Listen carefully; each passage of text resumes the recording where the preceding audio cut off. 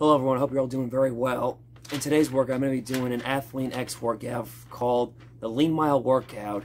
Basically, all you need for this is just a treadmill, but if you don't have access to a treadmill, you just like literally do this like outside. But luckily, I have a treadmill because it just snowed upstate here in New York, and uh, going outside and running is not an option, doing sprints.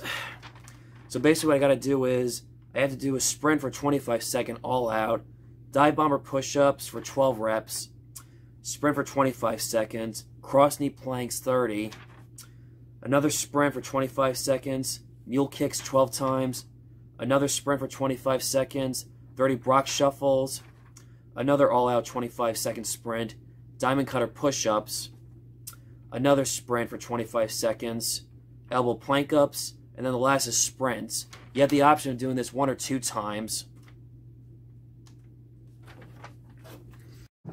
Okay, here goes the workout.